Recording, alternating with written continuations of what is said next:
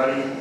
Uh, this talk is uh, called Angular and Dancer for Modern Web Development. Uh, otherwise, uh, how I try to get my app ready for Dancer instead of just using Dancer and how that worked out for me. So I'm Josh Lavin and I'm digory at NRC.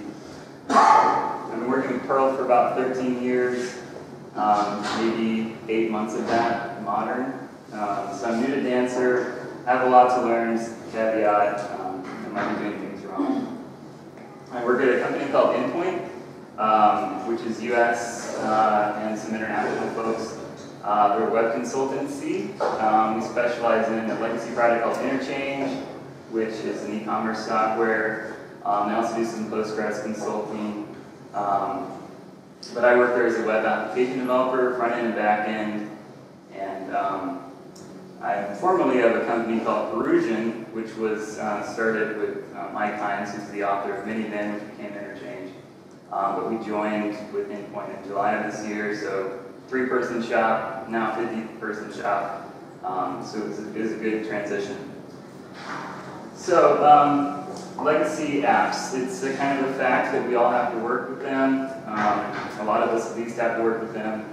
Uh, I do. There's, uh, they're kind of unavoidable, but eventually old apps get migrated or they die or the last remaining developer dies and then you're stuck. So it'd be great if we could just migrate everything to Dancer. Um, this isn't always practical, but I at least wanted to consider ways I could do this. So I thought, well, how to prepare for this migration. Um, there's, uh, there was three things I thought about. One is breaking out of the legacy app paradigm. So um, just trying to depend less on legacy app specific code. Um, I wanted to see if I could use modern Perl, um, object-oriented Perl, tests, CPAN modules, not trying to reinvent the wheel, um, and then trying to avoid business logic in the front end or scattered throughout my app. So if I'm going to use modern Perl, I should use tests, right? Oh, uh, let's write some tests. Oh, oh, we have a problem. I, uh, I started to realize that if I needed to write tests, I needed to have methods. And I realized what object-oriented Perl actually meant, that I didn't have it. Um, so up to now, my life as a Perl programmer, I've just been doing scripting, just big, huge chunks of code. And my code looked like something from 1990, just a big pile of poo. Um, I couldn't even write tests for my legacy app because it didn't run on the command line. So um, I was in a bad place. I decided to change my ways. I started looking at Moo because Dancer 2 uses Moo. Um, I started trying to write unit tests, trying to write some methods and classes, basically breaking down my problems into smaller problems. And I discovered that doing code this way was really fun. It felt like I was doing something right for a change. Um, but then I realized I couldn't run my tests in my legacy app because as I said, it couldn't be called from the command line.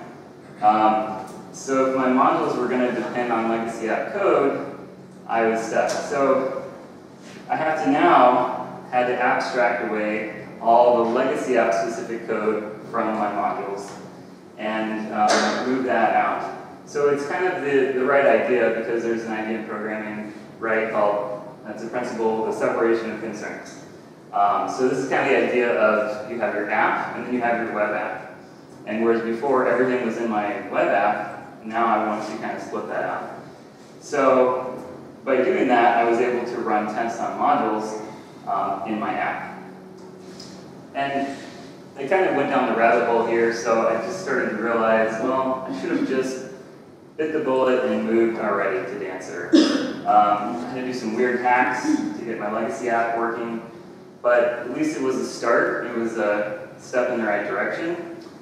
And my backend code was just getting more and more ready to move to Dancer eventually.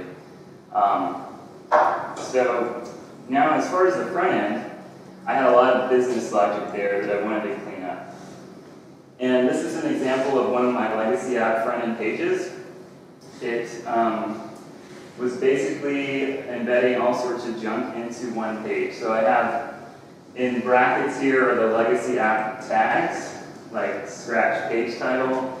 Then I have embedded Perl inside my HTML page. And um, then there's some pull in the templates top and bottom. And so the problem with this is, of course, it's just tag soup, and it wouldn't look nice if I tried to open this HTML page on my browser on my local machine uh, without the legacy app running, but you know, let's face it, it doesn't even look nice in the legacy app either.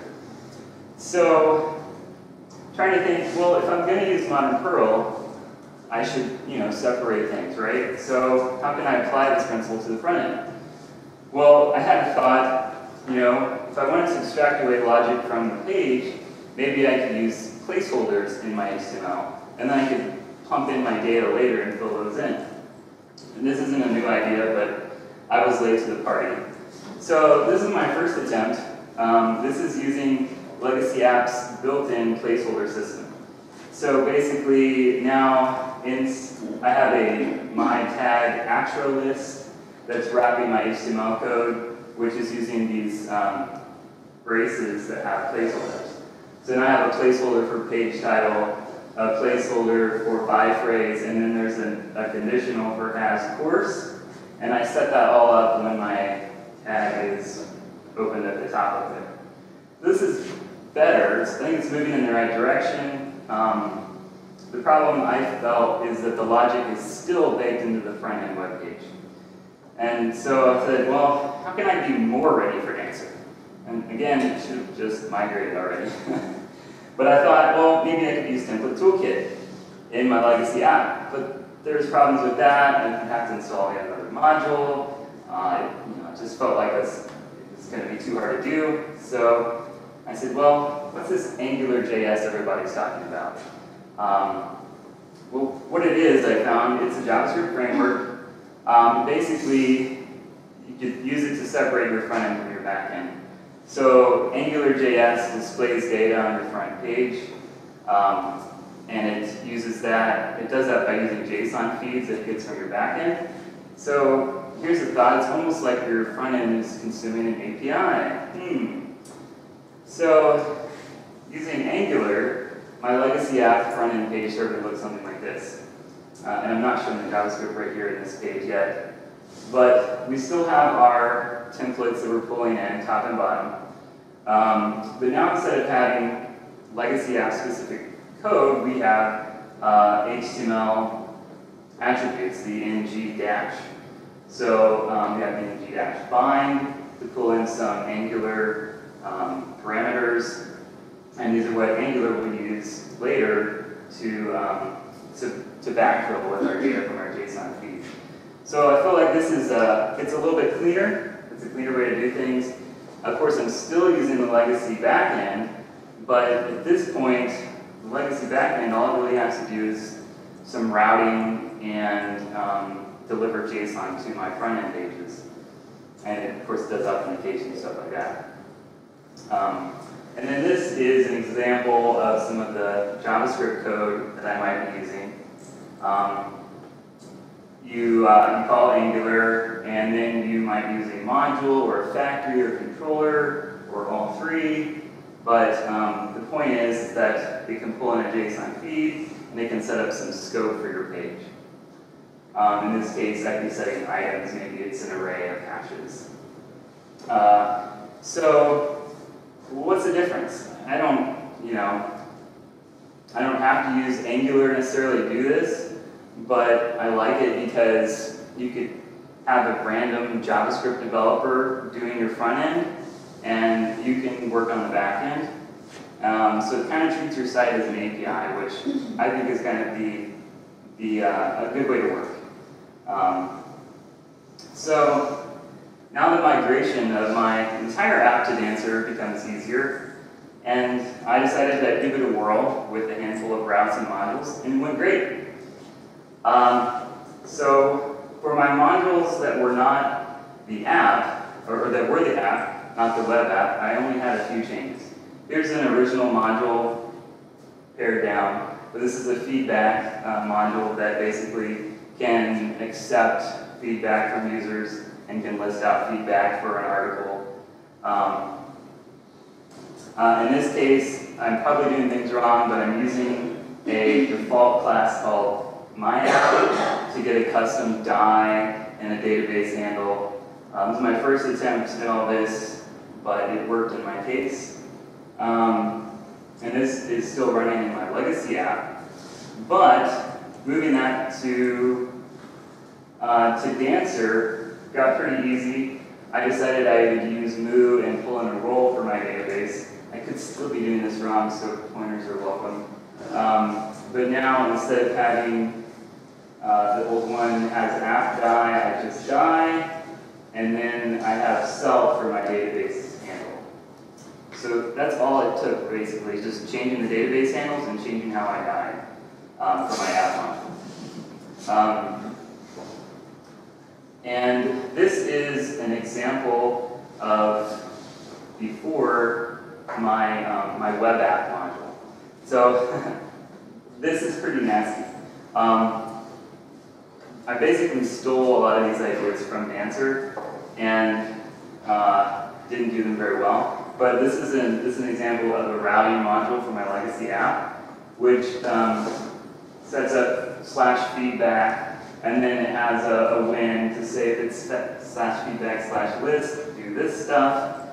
Um, there's even more, uh, bits and posts. It was just a ton of code to do what Dancer gives you really easily.